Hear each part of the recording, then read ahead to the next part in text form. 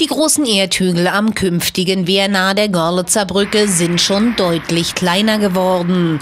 Auch ein Zeichen dafür, dass die Arbeiten gut vorangehen. Immerhin 1500 Kubikmeter Boden mussten für das neue Wehr herausgehoben werden. Das ist nun so weit fertig, dass nur noch die Außenbereiche verfüllt und die Fischquerung mit den entsprechenden Bohlen versehen werden. Das neue Wehr an der B96 97 ist dazu gemacht, um den Hochwasserschutz für die Stadt Hoyerswerda abzusichern.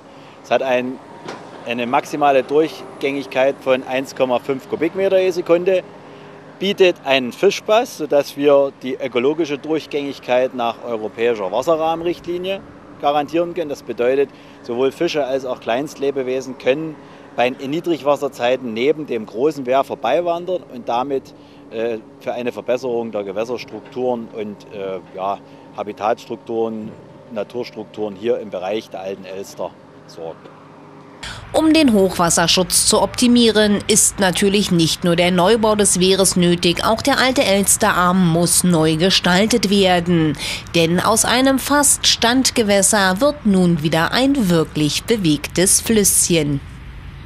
Äh, wir haben erstmal die ganzen Altsedimente entfernt, die sich durch dieses System dieses Standgewässers angesammelt hatten. Dadurch, dass das Gewässer Fließgeschwindigkeit verloren hatte, sind die Sedimente langsamer geworden, haben sich angelagert.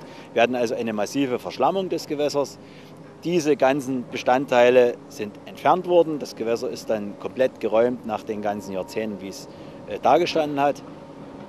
Und als wir dann den Sand hatten als natürlichen Baustoff, ist der dann teilweise mit dem Sand, den wir äh, aus der Baugrube des neuen Stadtmühlwehrs entfernt hatten, wieder aufgebaut worden, beziehungsweise kommen Liefermassen aus den lokalen Kiesgruben. Danach wird dieser, äh, diese Sandzone wird abgedichtet mit einer sogenannten Bentonitmatte. Das sind Matten, die einen Beton enthalten, Bentonit enthalten, der im Kontakt mit Wasser dann aufquillt, sodass kein Wasser mehr, was oben läuft, in das Grundwasser hier in Hoyerswerda absickern kann, beziehungsweise auch das Hoyerswerda Grundwasser nicht ins Gewässer kommen kann und damit wieder eine, ein, ein System gestört wird hier. Nachdem die Matte dann verlegt worden ist, werden Wasserbausteine eingebaut, die dann zu einem meandrierenden Fließgerinne profiliert werden.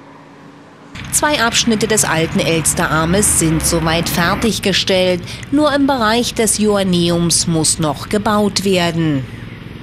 Äh, Überraschung gab es keine negativen keine positiven. Es ist eigentlich eine normale Baustelle, bis darauf, dass wir gewisse Massenverschiebungen hatten. Äh, die angelagerten Sedimente waren doch umfangreicher, als wir uns dachten. Wir hatten angenommen, wir ne-, entfernen ca. 4000 Tonnen, wir sind jetzt bei 6000 Tonnen, das ist schon eine ganz schöne Menge und fahren von den 6000 Tonnen, die wir entfernen, ca. wieder 4000 Tonnen neu ein. Das Mühlenwehr und die alte Brücke am Kino sind abgerissen. Allerdings gibt es hier kleinere Probleme, die von Stadtseite aus gelöst werden müssen. Nicht geplante, aber vorhandene alte Fundamente behinderten den Aufbau des neuen Elsterüberweges.